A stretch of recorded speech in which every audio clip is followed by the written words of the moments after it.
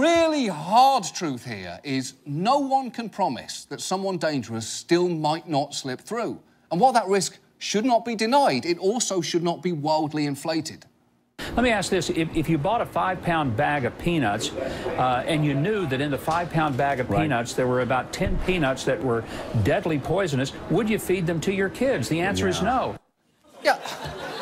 Of, course it's no. For a start, you should give your kids an actual meal, not a handful of peanuts, because they're human children, not circus elephants. But, but second, we wanted to do the math on what he just said. So we bought five pounds of peanuts and we counted them. There are about a thousand nuts in there. So if 10 of them are poisoned, Mike Huckabee is essentially suggesting that about one of every 100 refugees is a terrorist. But in reality, of the more than 784,000 refugees admitted to the US since 9 11, only three have been arrested for planning terrorist activities, none of which, by the way, resulted in attacks here. So the actual known ratio of arrested terror suspects to refugees is not one in a hundred, it's one in roughly 261,000.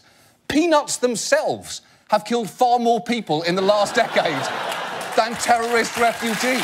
Oh, I'll, I'll, I'll go one step further. Men named Mike have killed more people than terrorist refugees, and I don't see us rounding all of them up. And that's kind of the point. Because as reasonable adults, we accept tiny amounts of risk baked into our everyday lives. We drive cars, despite knowing around 30,000 of us die in them each year. We go swimming, despite the fact 10 people a day die from, die from drowning. 20 Americans every year are killed by cows. But no one is saying we should expel all cows from the country.